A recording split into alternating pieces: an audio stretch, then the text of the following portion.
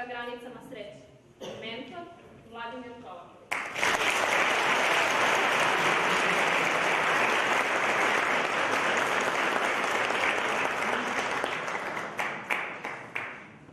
U mojoj državi sve manje nasmejanih ljudi. U mojoj državi osmo predstavlja kofer. Da, da, kofer. Postalo je normalno da pakujemo kofere koji vode ka granicama sreće. Uzimam svoj stari kofer. U njemu nalazim šahovsku tablu i figure. Postavljam je na sto.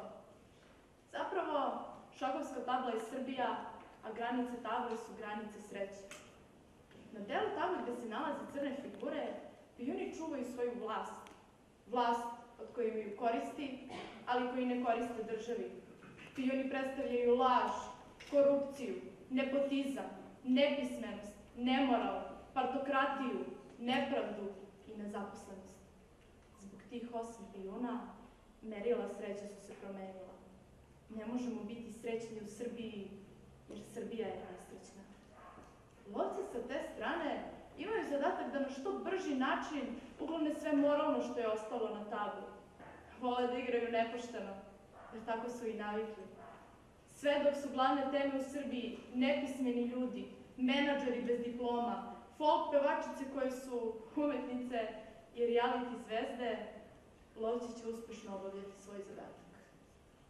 Sa druge strane table nalaze se bele figure, svetlost Srbije. Tu se nalaze svi uspešni ljudi, ljudi koji stiču najviše obrazovanje u Srbiji, ljudi koji se trude i žele da postignu svoje ciljeve na pravi način.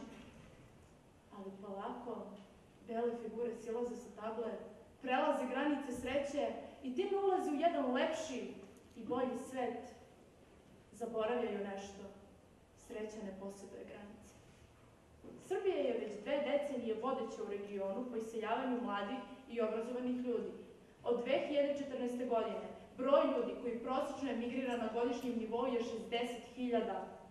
60.000 Srba je sišlo sa šahovske table.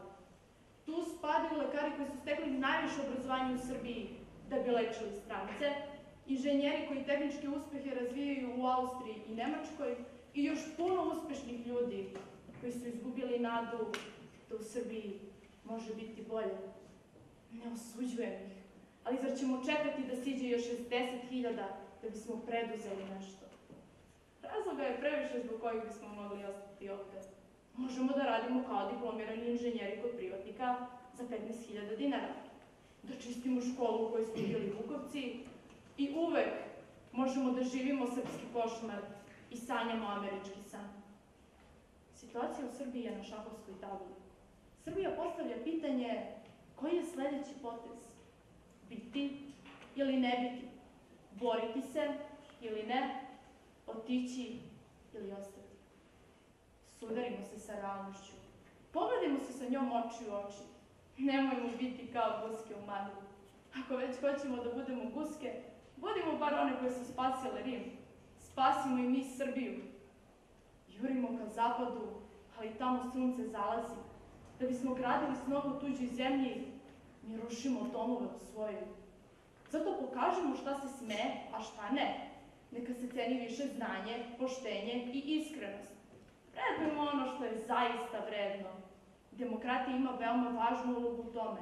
Ona predstavlja ključ kojim otvaramo novo poglavlje, nova vrata iza kojih nas čeka nešto bolje. Da li smatrate da život sam vuče konce, a da je svako od nas samo jedna lutka u njegovoj predstavi? Da li stvarno mislite da mi nemamo nikakav uticaj?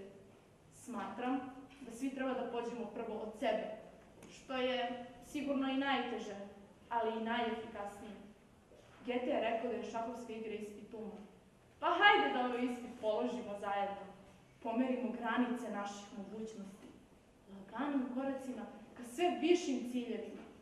Hajde da Srbija postane zemlja u kojoj se snovi ostvaruju. Uspešni i obrazovani ljudi su pojeli pijune. Pojeli su lovce koji su željni novca bez rada i truda. Oni više nemaju razloga da prolaze granice sreće, jer one i nisu istinska sreća. Mi smo na potezu. Svetlo Srbije je pobedilo.